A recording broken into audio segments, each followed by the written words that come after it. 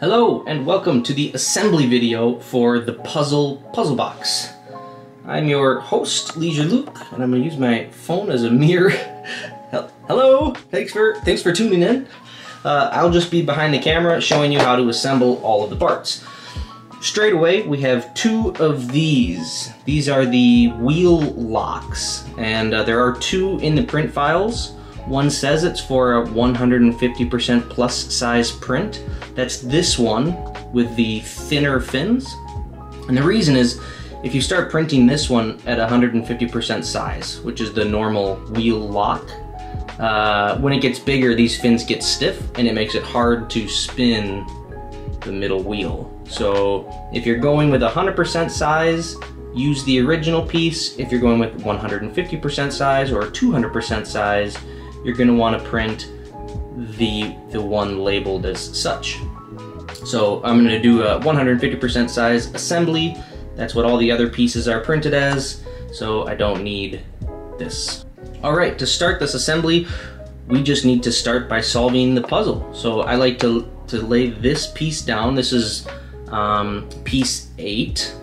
Uh, it's the biggest of all the pieces, and it goes down in the center. Colors don't make any difference with this puzzle box, so choose whatever colors you want.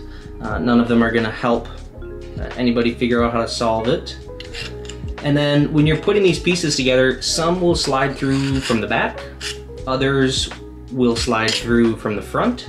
As you can see, this one won't slide through the front, so it has to be slid through the back. Um, I'm assuming everybody is going to want to do the puzzle part themselves, but if you did keep track of how your print went, you can choose to just put them in their order. They're numbered like, like this. I'll show a picture of how they're numbered. One, two, three, four, five, six, seven, eight, nine. Um, and what we're doing now is assembling just sort of the big U shape. And the big U shape just was what we need to do first. So, so far so good. Um, I of course know the colors of mine. If yours are getting really, really tight, it seems like there's no way they're gonna slide, double check for burrs. I found a burr like this on one of my pieces and just cut it off with a razor blade.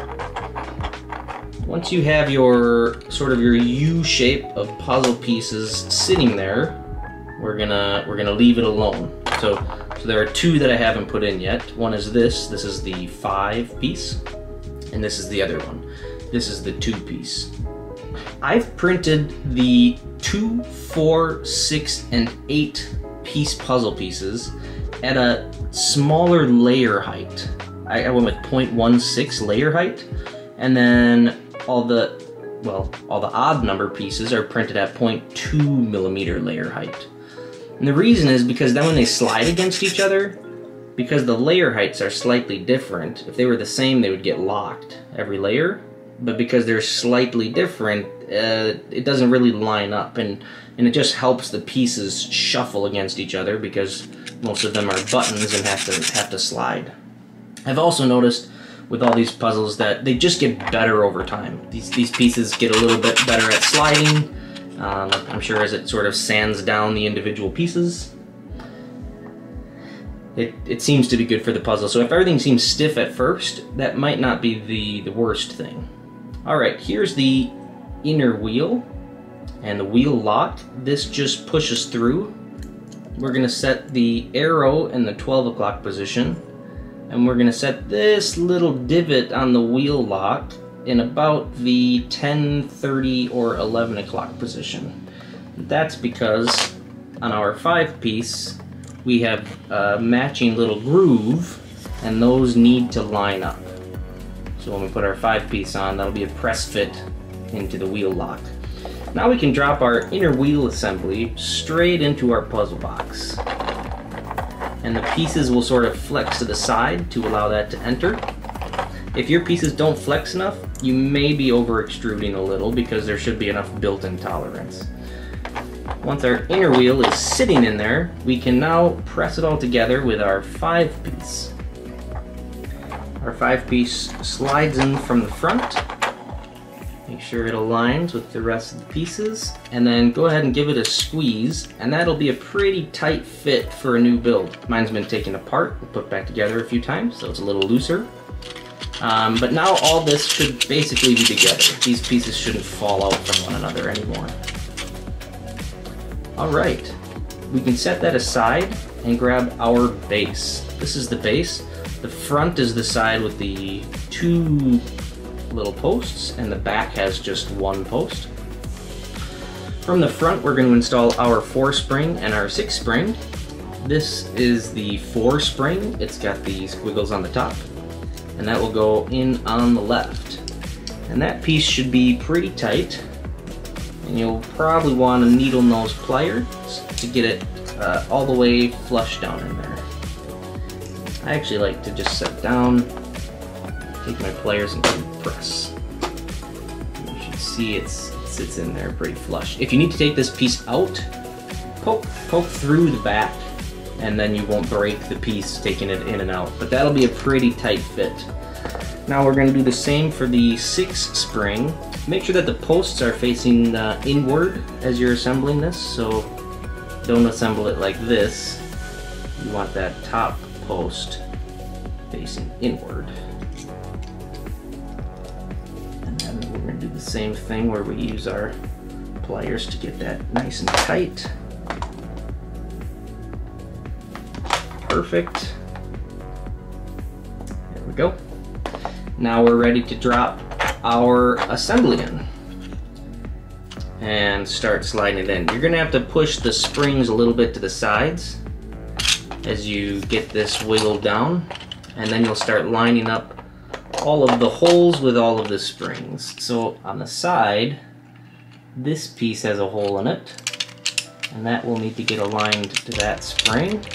But right now we can't because the bottom springs aren't in. You can see that's the holes these have to go through, so we'll push it forward.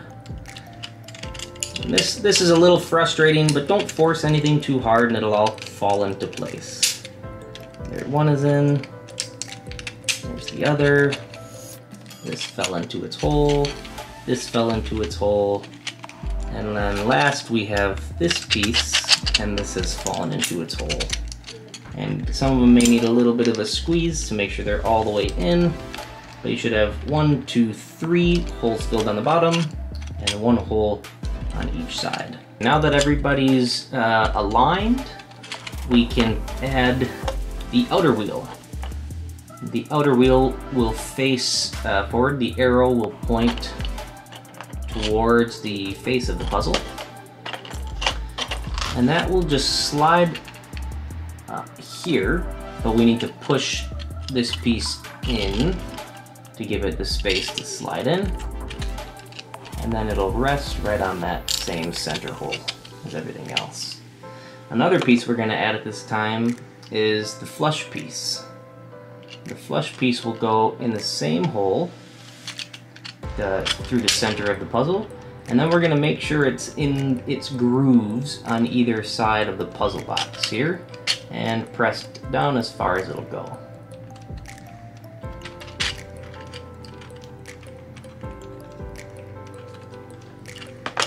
Next, we can slide this number two piece in on the top. If you put it in earlier, it, it is one piece that can keep falling out. It'll just keep sliding.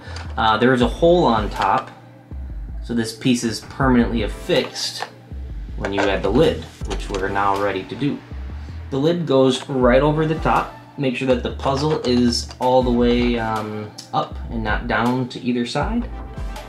And this should drop right on without too much force.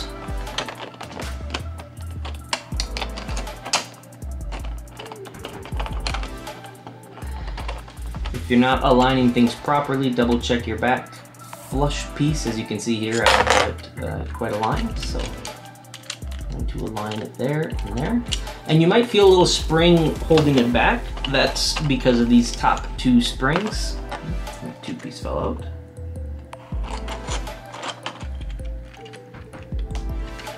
Push the two piece in and make sure that your, your hole is aligned and then make sure that this spring finds the correct hole and make sure that this spring here goes into the three piece. This spring goes into the one piece, this spring goes into the three piece. Next, if everything seems correct and your your backs here are all aligned, these are the most important pieces of areas to check because they're most frequently the ones I do wrong. Um, then you are ready to put in your clips. Colors, colors don't matter with the clips, just like the rest of the puzzle box. These are just there to hold the puzzle together. They're not meant to be removed during the solve. Um, so they should be pressed in hard enough where somebody can't just remove it with their fingers.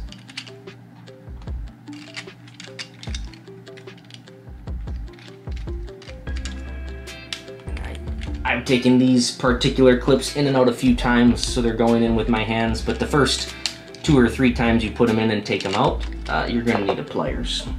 And you can just, just give them a little pressure with the pliers to make sure they're fully seated in the puzzle box. Um, couple tips when you go to remove these is use the pliers and go this way because of the way they're printed, this, this gets them in and out pretty easily. Um, if you start trying to take them in and out with your pliers this way, you're gonna just kind of fray the fray the print lines. So taking the clips in and out like this usually saves you a clip. Once those are all squeezed tight, your puzzle is ready to be played with. Um, push this eight piece in and slide this wheel all the way to the left. And now the puzzle is ready to be solved. Uh, basically, you have to align that arrow, this arrow, and this arrow once again. Once all three arrows are aligned, you'll be allowed to push this back piece flush. Once it's flush with the rear, that's when the entire puzzle box uh, for the final, final mega assembly will be allowed to be unlocked.